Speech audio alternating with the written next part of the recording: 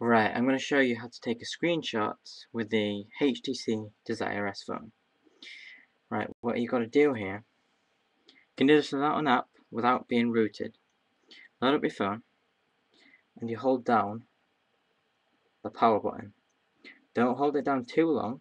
If you hold it down, the power options menu comes up.